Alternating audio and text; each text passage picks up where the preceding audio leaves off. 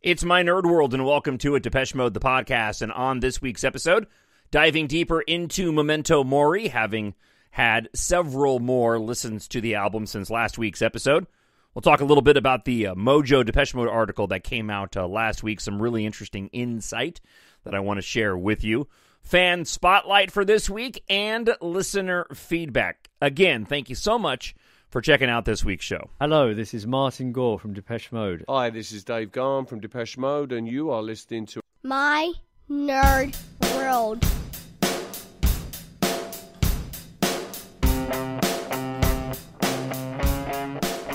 It is My Nerd World, Depeche Mode, the podcast. I'm your host, Jon Justice. Excited to talk about all things Depeche Mode once again uh, this week and get to a lot of listener feedback. I really can't thank you enough for reaching out to the show and uh, looking forward to sharing a lot of your thoughts, answering your questions, especially as it relates to the upcoming Depeche Mode album, which I've had the privilege of listening to many times now. So, to give you a bit of uh, a bit of perspective on listening to the uh, to, to the album, it really hasn't been until I'm recording this on Thursday, and it really wasn't until Tuesday of this week that I was able to do sort of a proper listen and now several proper listens to the to the album. So as I mentioned on uh, last week's episode, I really messed my leg up two weeks ago, slipping on some black ice outside, and then uh, de- did uh, did further damage to it because I didn't rest it. So in the days after I injured myself, I was up walking around and I just tore the heck out of the ligaments. And so I ended up taking um, several days off of work. We had a huge storm that rolled through uh, Minnesota, Minneapolis uh, last week. So I was off at home uh, through half of last week and then laid up all weekend. Did the show from home on Friday and didn't return to work until Tuesday. So, why does this relate to Depeche Mode? Because I was finally able to get into the car and drive and listen to the album while driving. And that wasn't to say that I hadn't been listening to it and really, really enjoying it, but to really get a, a, a sense and a vibe on the album, to be engaged in, you know, one of the things that I do most often when I'm listening to Depeche Mode music, and that is driving. I have about a 20 minute drive uh, to work every day. And then usually when I go and I get to work, I plug in my headphones as I leave the uh, the parking lot and then head into the building up on the fifth floor and i've got to run around and copy prep and things like that. So i've really had an opportunity to spend quite a bit of time with the album in the normal circumstances that i listen to depeche mode. And I, I again i just have to tell you that this album has absolutely grown on me. Uh, and and I'll be talking about this as we get into a lot of the listener feedback that I that I mentioned before.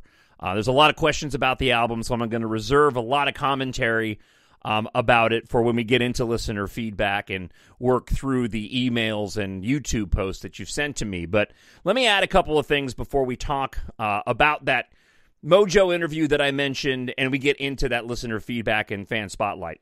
Um, one thing that I picked up on that uh, really began to stick out in a good way in listening to the album while driving uh, this week. Dave really varies his voice on this album. I'm actually very I'm actually interested in going back and listening to previous records to see how much he does this cuz I I guess I haven't noticed it before, you know, and I've listened to every single Depeche Mode album, who knows how many times for crying out loud.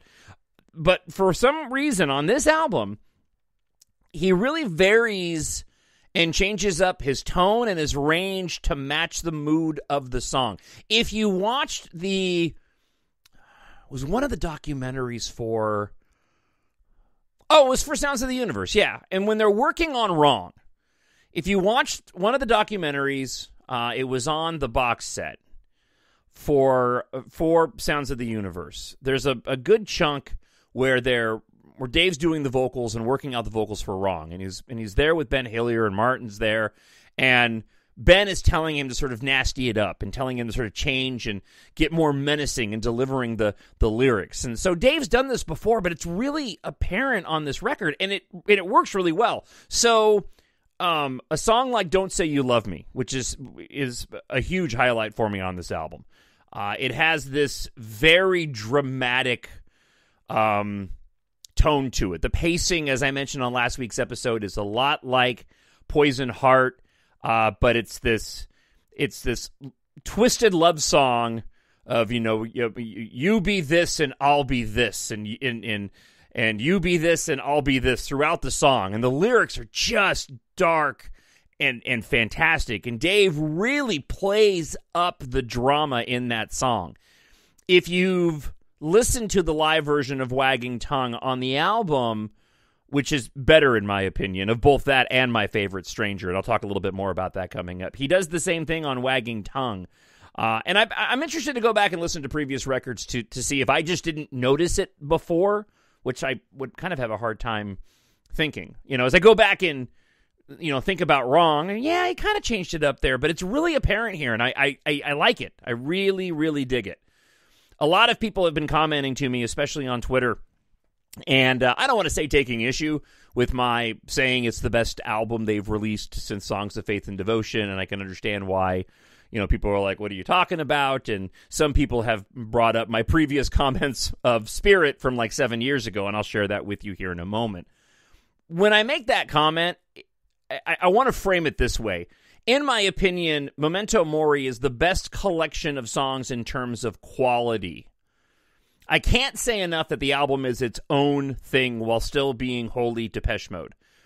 Um, I've been listening to this album as start to finish lis- listening sessions. Whereas, like on Spirit, and again, I'll get into this coming up, um, I listened to that album as a whole a few times, but then I specifically remember going through and making a playlist and taking out some of the songs that I didn't enjoy.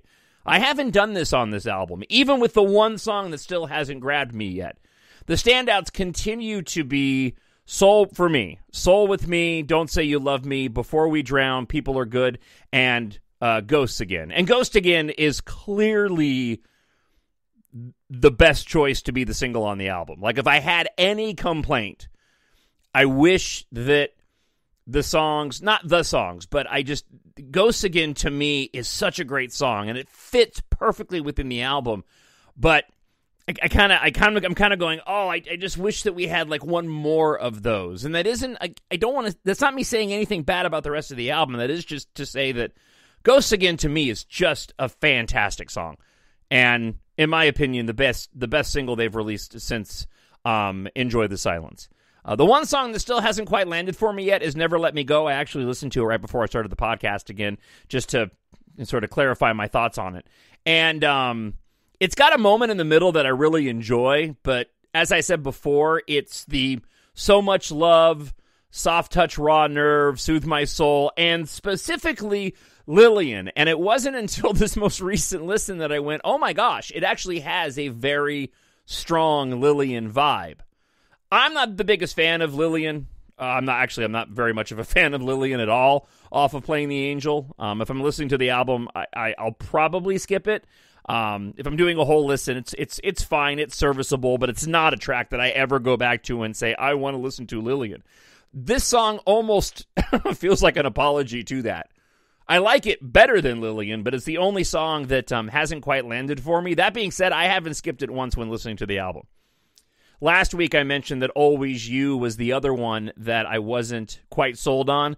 Um, that song has absolutely uh, grown on me. And if you like the instrumentation on Ghosts Again, you will love the way the rest of the album sounds.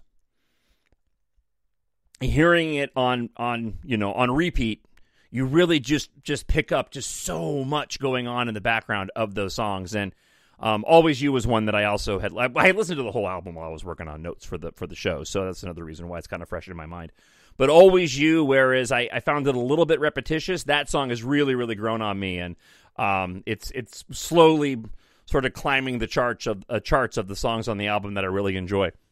The one thing that I'm very curious about is how these songs are going to translate live.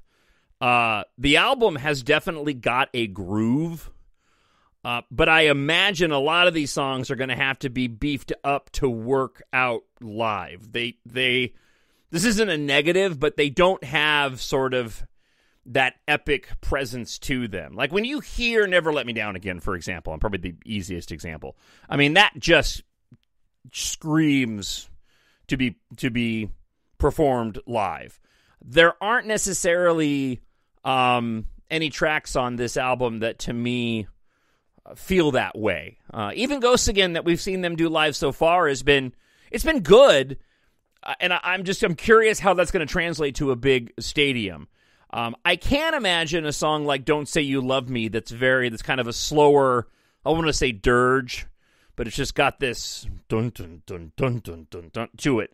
That if they were to punch that up a bit on the drums and with some really dramatic lighting, I could see that really really working well. Before we drown too, uh, "People Are Good" is the one song that I could I could definitely see see working live. I'll be very interested to see if they do it live. It is my second favorite song on the record, it, hands down. I absolutely love that song. As I talked about last week, it's kind of goofy. You'll know what I'm talking about when you hear it.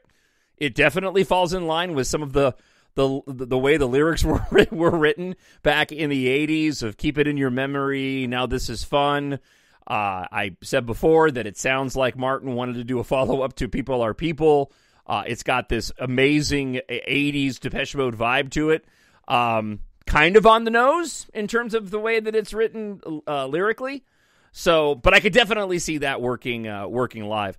And as an example, uh, we've heard the live versions of Wagging Tongue and My Favorite Stranger, although you know, albeit bad versions of it, bad recordings. So, you know, we've kind of gotten a preview of what we can expect um, live of the album versions. In my opinion, the album versions are are much much better than what we've heard so far live. I expected the guitar to be a lot harder on my favorite my favorite stranger hearing the live recording first and it was very different. Edgy but way less rock and more processed on the album. So it'll be interesting to see. I mean the band hasn't really gone down the road of playing a vast majority of the new album on the recent tours in in a long time. I mean long gone are the days where you almost get the entire album, you know, performed live during these uh, tours. So uh, very interested to see how this how it plays out. Based off of too the number of songs that they performed live already. I mean, I think we kind of know they're going to be doing Personal Jesus, obviously, but Precious they seem to be returning to, and then Ghosts again, Wagging Tongue, my favorite stranger. I definitely see why Dave made the comment that he did a while back after the press conference saying that they could potentially go and do the sun and the rainfall. Now, whether or not they're brave enough to pull that out based off of how many songs they need to play live and making sure they get the typical songs that the band wants to play live remains to be seen. But I could definitely see how that song could work into a live format based on the tracks from Memento Mori, especially Soul with Me. That would be, I could see Martin doing his own version of uh, The Sun and the Rainfall with Soul with Me. I just, I, I, I pray that Martin does a full, the fully produced version of Soul with Me. That song is so cinematic. Um, definitely, it's it's it's that melancholy sadness again because it is the lyrics are absolutely about death. Martin's taking his soul with me, taking my soul with me. That's how that lyric works out, and it's got this very uplifting tone, even though it's definitely talking about death. But it's just so bold on the record that I, I, I really really hope Martin doesn't do like a stripped down piano or just guitar version uh, version of that song. So, all right, let's uh, dive into uh, some of that Mojo article that I mentioned, and we'll uh, do that via a uh, email that I received from uh, Jason. All right, so Jason writes, "My favorite stranger performed in Munich is apparently a real rock number. Yeah, it's it next to um, Never Let Me Go." Are probably the the two that I would say are the are the rockier numbers. Although people are good would from a keyboard standpoint, of a sort of a harder keyboard stand uh, standpoint, I could put that in that same category in terms of pacing. Uh, not listening to the uh, uh, not listened to the recording on YouTube as I don't want the want to uh, ruin the release date. Uh, Jason says it's important to hear the songs in the context of the album, as I believe it gives a better sense of meaning and belonging. Uh, not sure if you got a digital copy of the UK magazine Mojo. I did. He provided me with an excerpt from it that I wanted to share with you on the on the show. It really is a fantastic read, very very insightful, uh, and actually gave me some information that I was not even aware of in terms of the band dynamics. But let me share with you this portion from the uh, Mojo magazine if you haven't had a chance to read it yet. Uh, the thoughts are reflected, talking about an, S, an, an extract from it um, as it relates to the album uh, in a record that feels more open than any Depeche Mode have made in a while, perhaps since 1997's Ultra. Its melodies are persuasive, its sound world rich and elegant, completely agree. It looks inward, absolutely, uh, as all Depeche Mode music does, except for a lot of tracks on Spirit, eschewing the political preoccupations of the didactic spirit. A little too literal reckons Gahan uh, People Are Good is probably the only one that kind of looks outward more, but it absolutely works for the song. Uh, that's not in the Mojo article. That's my comments there. But the balance between celestial synth motifs and agonized soul searching, exemplified by the lead-off track Ghosts Again, is close to ideal. Hardcore fans and more casual admirers alike will be pleasantly surprised, but not as surprised as Gahan was when Gore sent him the demos because there was something unusual about them. Martin FaceTimed me, says Gahan, and said, I have to warn you on a couple of songs it's Richard Butler singing. I'm dying to hear those demos, by the way. I can hear Richard Butler's voice on the songs that he wrote with Martin. Absolutely, I could hear his voice. That's not saying I hear it when I hear Dave. When I listen to the song and I want to hear Richard Butler's voice, I can go, yeah, I can totally see him singing this song. That's what I meant. Gore had been friends with Butler, the gravel voiced to Psychedelic Furs frontman, for years when the pandemic hit. He just reached out to me and said we should write some songs, recalls Gore. I think he might have said that once before, but it never kind of went anywhere. This time I texted him back and said, Got any ideas?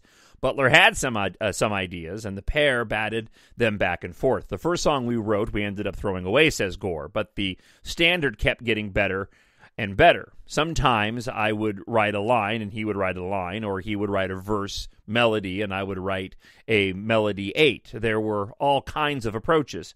Gahan was taken aback. It was a big it was a such a big leap for Martin to write someone somebody uh, with somebody else. He says he was taking a risk because he's so particular about things. He likes everything in its place uh, as he likes it. But Gahan also daunted. The demos set unusual challenges, especially the keynote Ghosts Again. When I first heard that demo, it made me feel immediately full of joy, but an odd feeling for me. I had to get past hearing Richard singing because he's got a, re- a, a really distinctive tone and style but there was something about this melody and his um, intonation that I warmed to, and some of the lyrics lent heavily into Richard's repertoire, uh, re- repertoire of imagery. Yeah, let's put it that way, which I really identified with. The Gore Butler co writes are some of Depeche Mode's strongest songs, and Gahan's strongest performances in years. The stately and lyrical Don't Say You Love Me, for instance, is a singer's showcase in the Scott Walker lineage. Yeah, that song is is just fantastic. It's it's so good. It's so Scott Walker. Enthuse is Gahan. It was weird. It, it's a it was a weird coincidence because I've been listening to a lot of Scott songs like Sundown, Sundown, you better take care. Uh, and A Woman Left Lonely, those torch like melodies. Gahan himself, along with regular songwriting partners, including touring DM uh, members Christian uh, Eigner and Peter Gordeno, contributes two songs, plus a co writing with Gore entitled Wagging Tongue, their first to make it onto a Depeche Mode album. Gahan attacks it uh, as if he's angry at someone, but who? And that speaks to the way that uh, Dave sings the, the vocals. I'm not sure, says Gahan. I'm ranting at somebody. There was a part of it that came to me literally just after I got the news that Mark uh, Lanegan had passed away. Uh, Rich, a Machin of Soul Savers, rang me and said, uh, Lanegan's gone, mate. Gahan had got to know the ex Screaming Trees singer through Soul Savers, for whom they'd both starred as guest vocalists, although the pair had admired, uh, admired each other's work for years. The Depeche Man was, he says, surprised but not shocked when Lanegan, who had survived multiple addictions and rolls of the uh, of the lifestyle dice, gave up the ghost in February of 2022. When I saw him, we saw him as a freak of nature. Gahan shakes his head. Look at what uh, got him in the end. Who knows? Look what got him in the end. Who knows? But he had a terrible bout of COVID, had a terrible fall. He spent a good couple of months in the hospital in Ireland anyway. There was a part of this song that came out of that. Gahan pauses. Storyteller, Mark was a great storyteller, just with his voice. He didn't even have to follow him lyrically sometimes. I knew through his tone where he was. Another of Gahan's songs closes the album. Speak to Me flames out in an epic uh, swirl of sound. Both Gore and producer James Ford credit engineer Marta Salogni for the ethereal analog tape treatments that grace this and others' uh, songs. Think of uh, Frippertronics, they both say.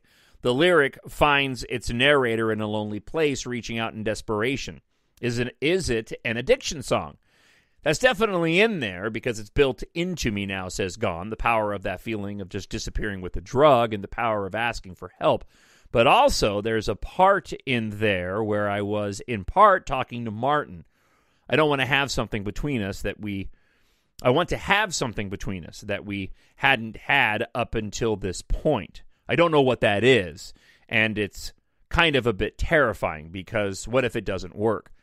One of the other uh, items of note in that Mojo article was the uh, relationship between Dave and Martin. Uh, the understanding that I got reading Mojo was that it seemed like the, the band itself was a bit of a gang, going up and all the way through when things began to fall apart during the devotional tour and the numerous problems that all of the band members were, were dealing with.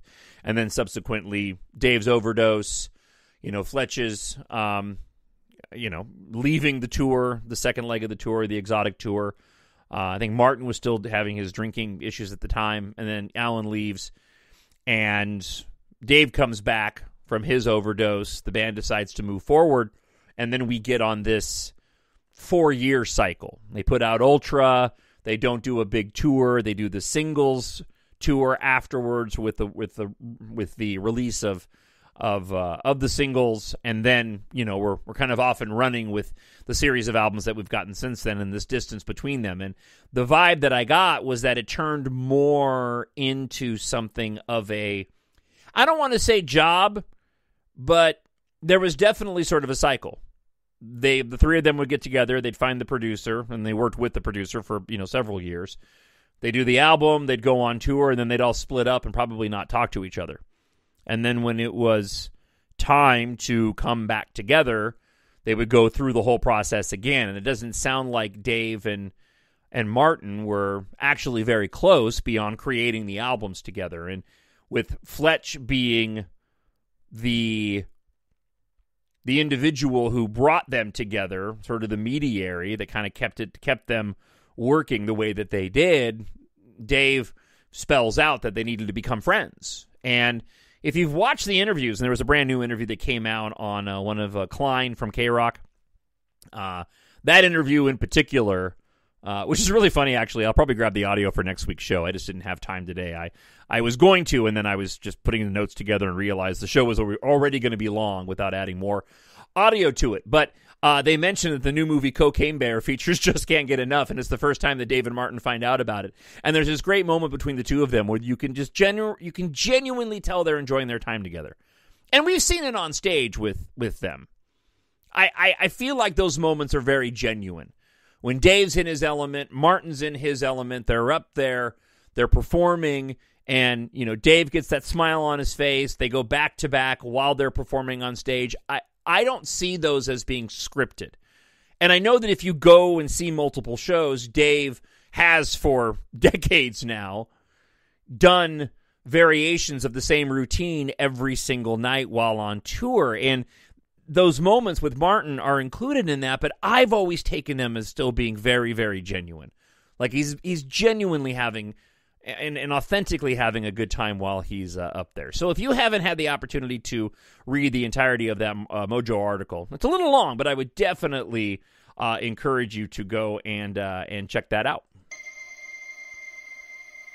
All right, let's get to this week's fan spotlight.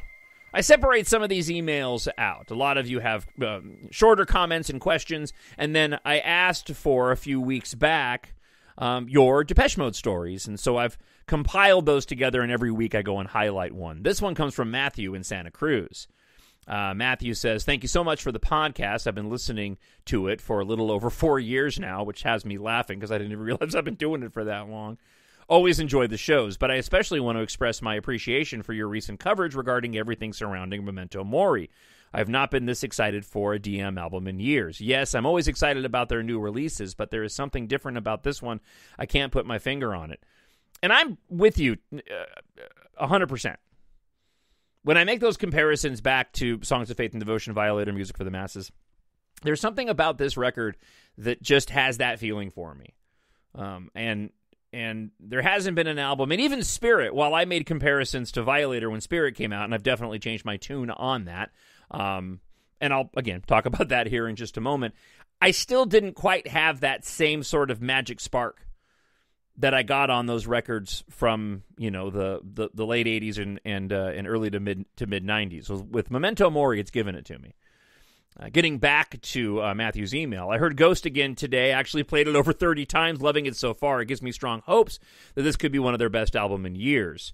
Uh, I do agree with some that their last three or four albums have not been their career best, but every one of those albums had amazing songs. I agree. It's it's uh, just really hard to compare Music for the Masses, Black Celebration, Violator. Um, not a fair comparison. I started out as a Depeche Mode fan in '88. My first concert to ever was 101. Lived just a couple of miles away in Eagle Rock. Yep, know where that is. Uh, from that point, I um, from that point on, always went to two or three shows every tour. Highlight shows uh, for me were, of course, 101. Violator shows, Universal Amphitheater. Yep, and the two at Dodger Stadium. Yep, and uh, actually the solo shows with Martin and Dave. I have not seen any of Martin and Dave's solo shows. I'm sad to admit.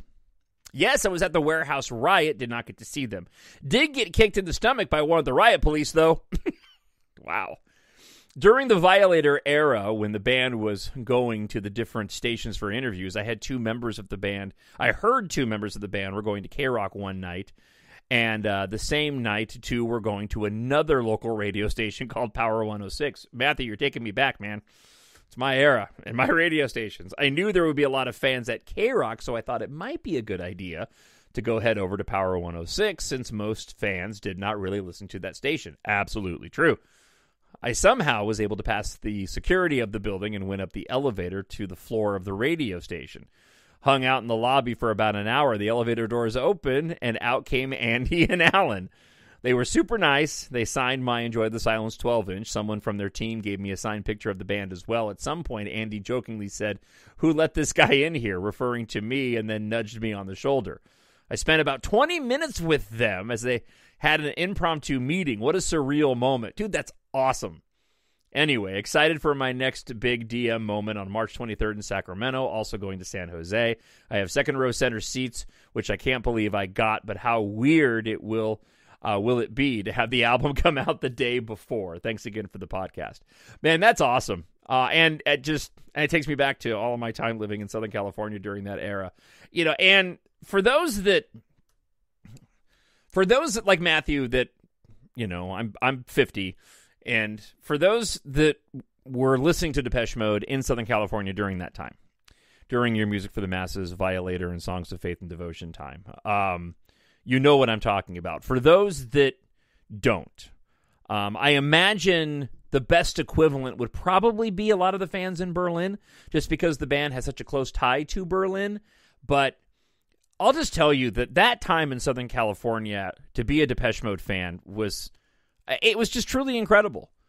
It was truly and absolutely incredible. I went through my collectibles recently, as I mentioned. I've been posting some up as shorts on the YouTube page and also on my TikTok at the uh, the Jon Justice J O N. And um, I found a whole bunch of pictures completely unrelated to Depeche Mode from that era.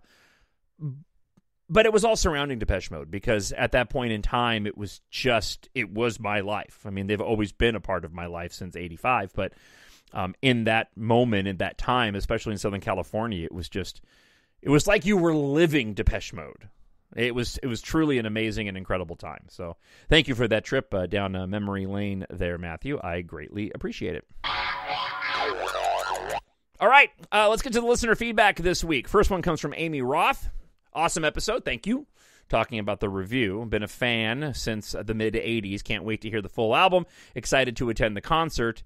Uh, what would be your dream set list? Do you have one on Spotify or uh, Apple Music to share? I don't, but I'm going to put one together between now and next week because I always do fantasy playlists in my head um, and uh, or fantasy set lists in my head. So I'll definitely do that before next week. And thank you for the message. Uh, let's see. Henrico asks, "What's the title for the snippet we heard back in October on the press conference? The first snippet before Ghosts Again." So, all right. I think I can get away with this because I've played this before on the show. So, what I'm going to play for you here is the snippet that was played before the snippet of Ghosts Again from the press conference, as Henry mentioned. This is from My Cosmos' is Mine. What's really interesting is, though, it's completely different. Not completely different. It's different than what's on the album. What I'm going to play for you here is buried in the mix of the song towards the end. But what I can tell you is the pacing on this is the pacing of the song. So, nope, that's Ghost again. My bad. I have him numbered over here, so forgive me. Uh, th- so the the beat that hits right at the start of this, I thought it was the very beginning of my Cosmos' mind. It's not. There's actually a couple of them in succession, uh, but it's really really close. Okay.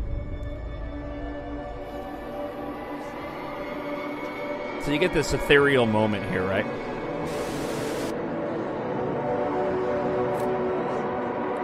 And there's a lot of this going on in the back of the song of My Cosmos is Mine.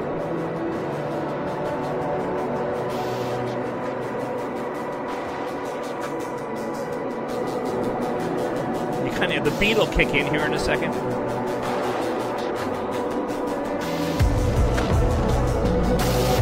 That's the pace of the song. And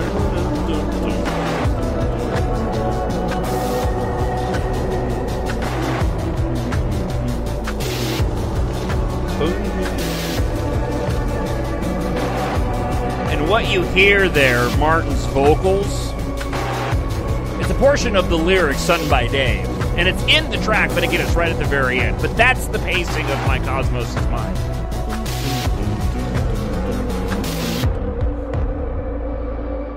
Uh-huh. And then the when it's when it transitions over into the snippet from the press conference, um, they just mixed the two together.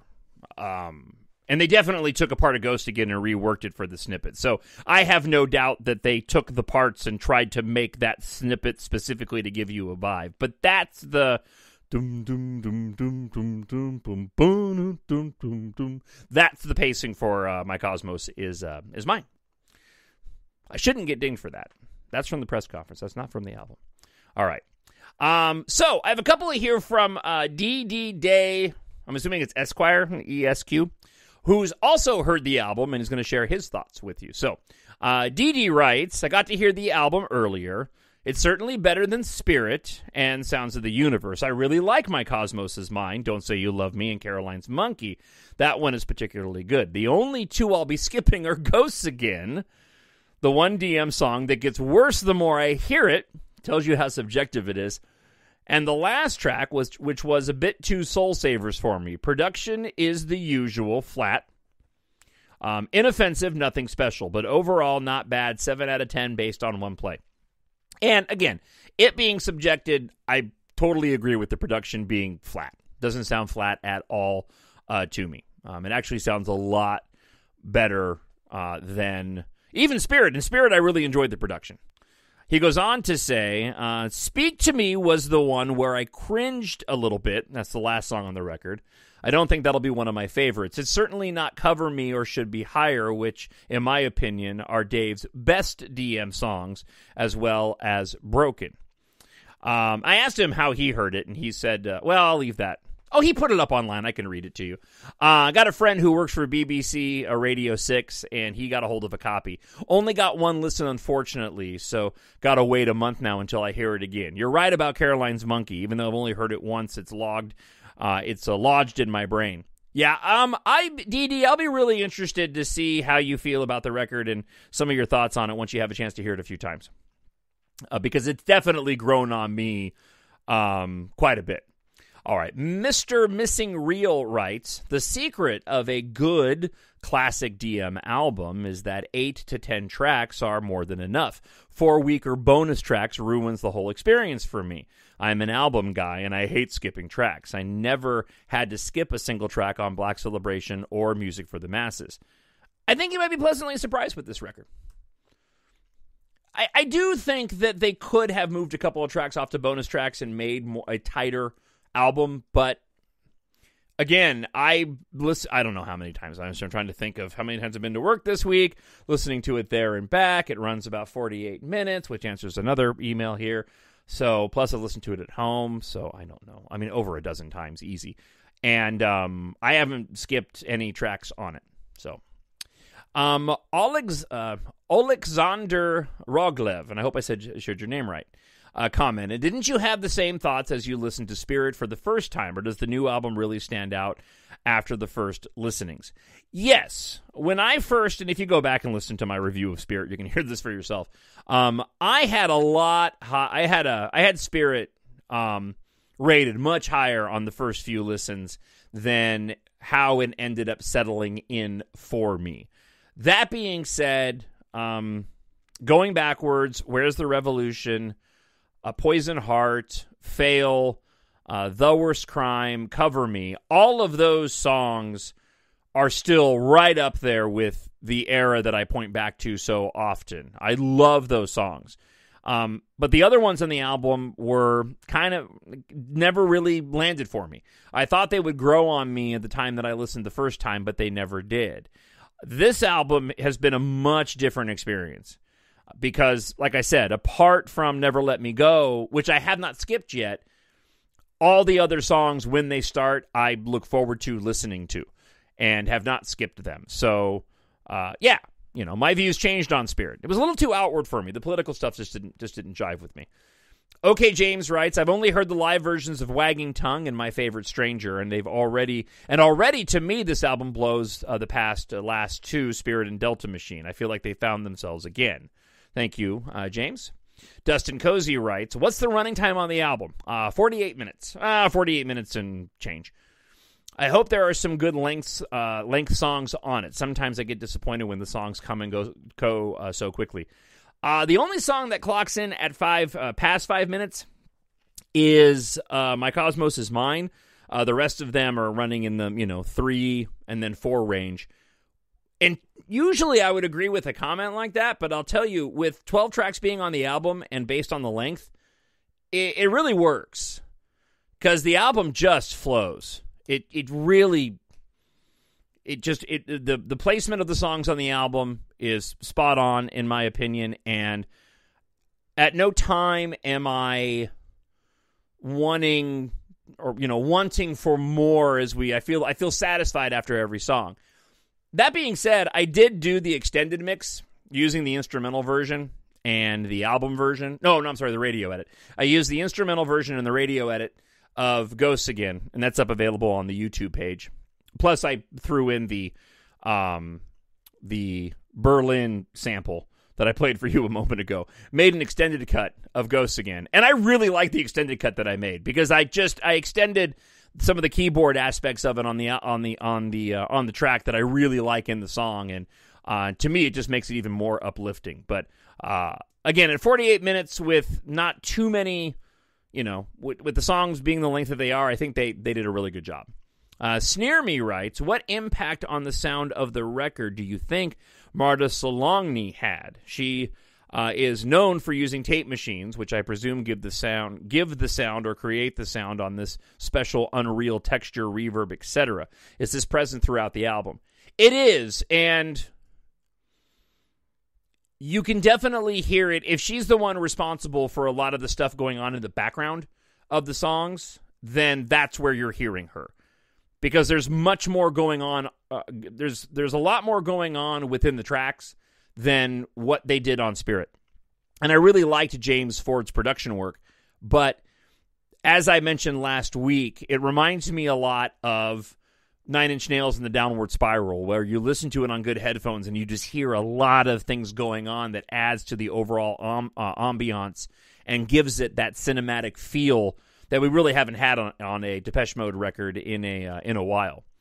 Uh, let's see. Uh, let's see. Oh, here we go. Somebody takes issue with me.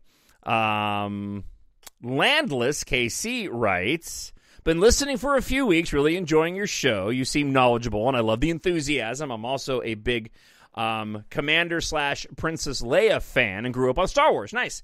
However, how can you diss Ultra like you do? I didn't realize that I did, but okay. Of all their albums, it, it is the one that I turn to the most. Okay? Okay, it's not very pop synth, but I so adore the bluesy rock and roll vibe of Songs of Faith and Devotion, PTA, and Ultra. I love what they do with rock songs as much as I love their hard hitting dance songs and their broody alternative stuff. Anyway, I just don't get it. Well, I, I like Ultra. I mean, I'm may have made some comments. There's some tracks on that album on that record, album record. I keep going back and forth that I skip. Free State never landed with me at all. That song just does not work for me at all. My favorite songs tend to change and move around the playlist as time goes by, and I go back to some great reward and Black Celebration as well as Exciter and Delta Machine. So do I. So I pretty much like everything, as do I. But I just feel the need to defend my beloved Ultra and the punch to the gut vibe of that great album. Has it, somebody please fill me in? Was I negative on Ultra at some point in time? I mean, I like that record. I like all their records. I don't think I've ever said I, there was a Depeche Mode record I didn't like. Uh, you know, and they they kind of shift in terms of which ones I like more. I don't do um, I don't do lists. You know, from best. I don't do best to worst worst lists. I don't do them for Depeche Mode albums, and I don't do them for Star Wars movies, and I don't because my my views on them change and they move around based off of where I are, where I am in life. But I gen, genuinely like Ultra, so I don't know why you got that vibe. But that's okay. Uh, thanks for being there during the countdown meltdown and listening to much bit, listening to us bitch about ticket ticket prices this year. Yeah, I still haven't gotten tickets to a show, man. I don't know what I'm gonna do. All right, instrumental electronic music rights. I heard the version of my favorite stra- stranger uh, in Munich. Just want to know if uh, Dave is singing the chorus wrong in the middle of the song. It sounded like that. No. Um, my favorite stranger has this break in the middle of the song, which you can hear in the live version that leaked out. That gets really weird. It's super long.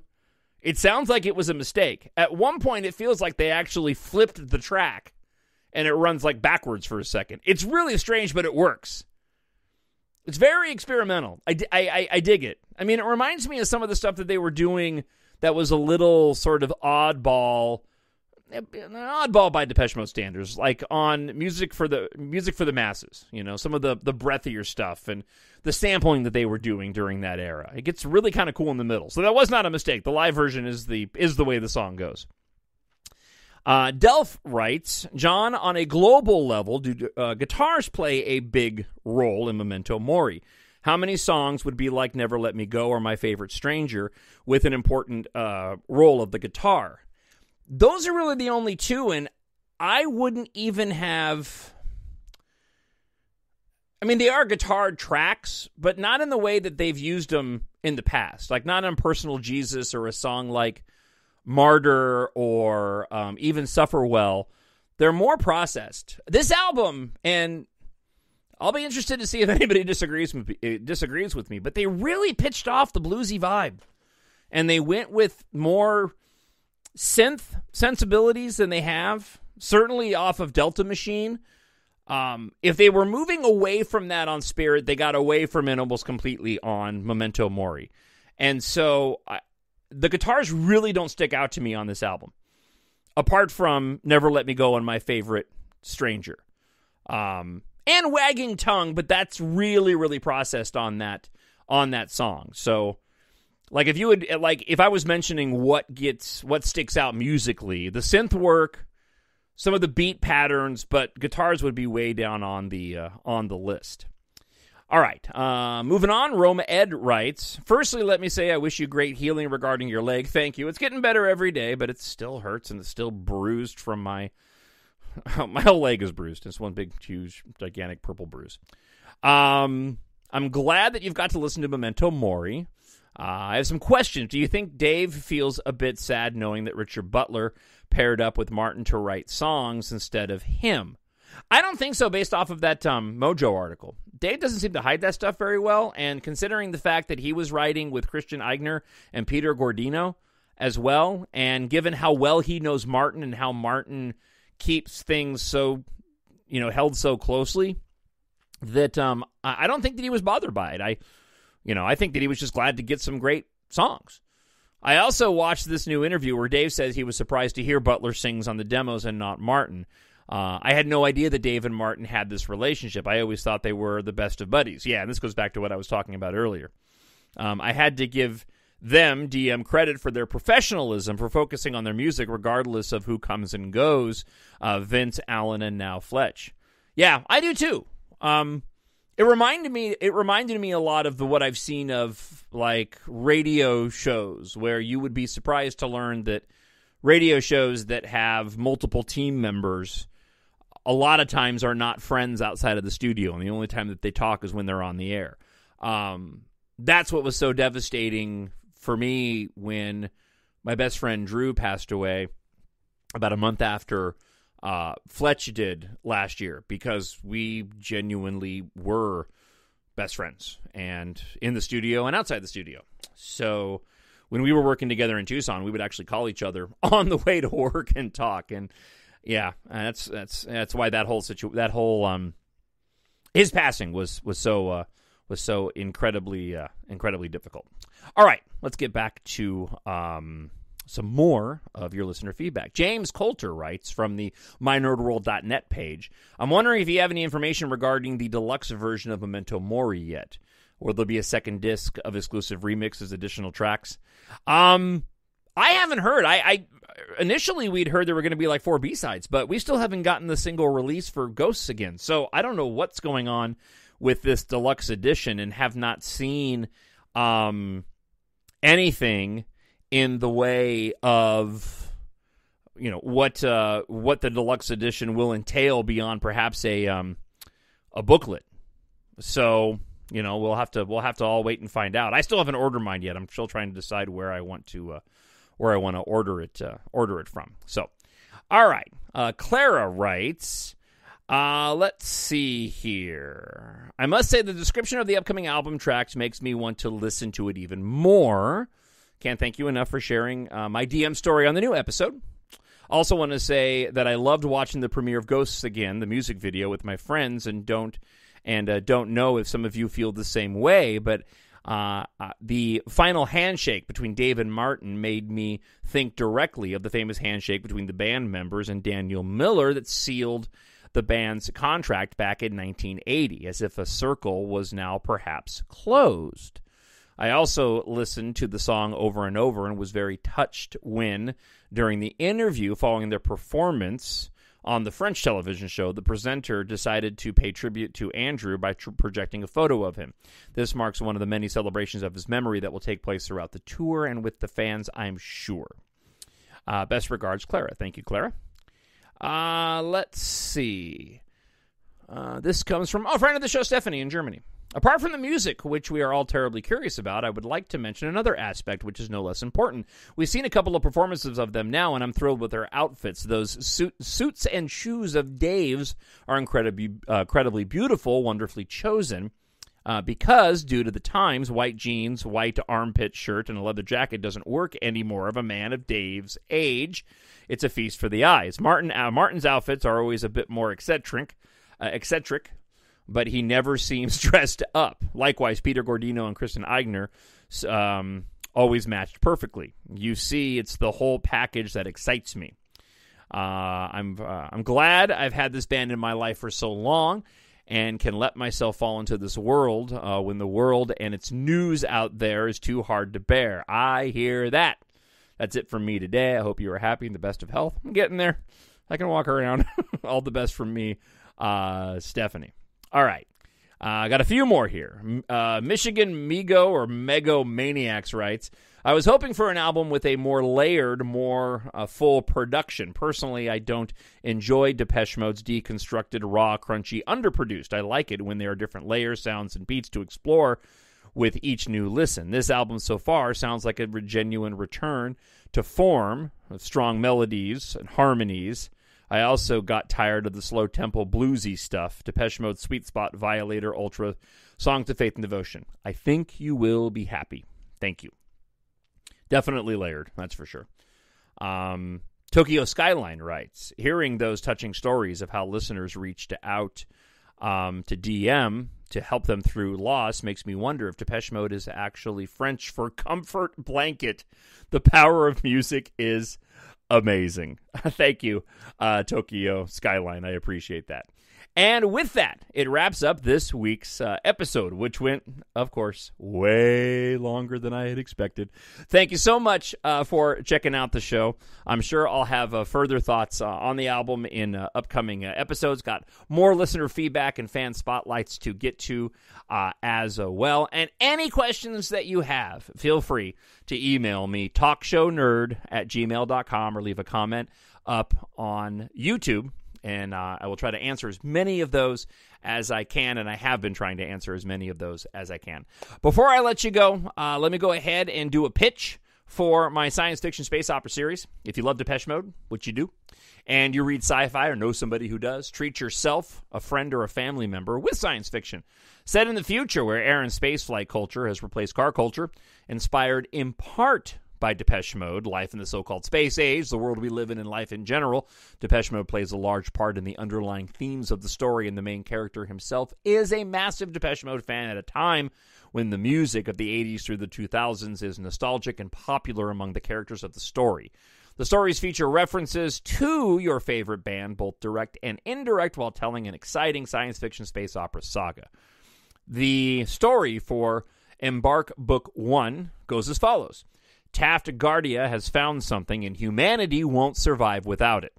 The stars are within reach as rival megacorporations D Corp and Enercon have made interstellar travel available to the masses. But when an industrial accident sets off an apocalyptic chain of events, all of Earth is at risk. Meanwhile, Taft picked the right day to upgrade his ship when fellow pilot Amaro arrived, needing his help investigating a cryptic message from her late aerospace engineer father. Unaware of the disaster, Taft and Catham make a shocking discovery. Excitement turns to fear as the global evacuation begins, and the ruthless sent to Argum of D Corp learns of the power in their possession. Taft soon realizes what Catha's father left behind might be the only key to saving Earth's evacuees from the tyranny of D Corp's evil leader. If you like your science fiction epic filled with some romance and action, then Embark is perfect for you. It's written for adults, but it's great for ages 11 years old and over. Pick up Embark Book 1 today, available in ebook, hardcover, paperback, and audiobook. Seven books in the entire series available now at Amazon.com or mynerdworld.net. Just search for Embark and Jon J. O. N. Justice. Thank you so much for spending some time on my rambling thoughts about Depeche Mode. I greatly appreciate it, and I look forward to hearing from you between now and next week. I hope wherever you are, you are happy, you are healthy, and you are safe. And I'll talk to you again real soon. Bye.